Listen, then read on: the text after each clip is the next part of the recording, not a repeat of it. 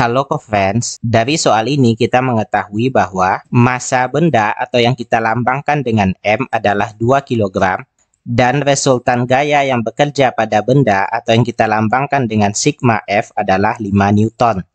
Yang ditanyakan adalah berapakah percepatan benda atau balok tersebut yang kita lambangkan dengan A. Jadi berdasarkan hukum 2 Newton kita mengetahui rumus sigma F sama dengan M dikali A Sigma F ini adalah resultan gaya yang bekerja pada benda, M ini adalah massa benda, dan A adalah percepatan benda.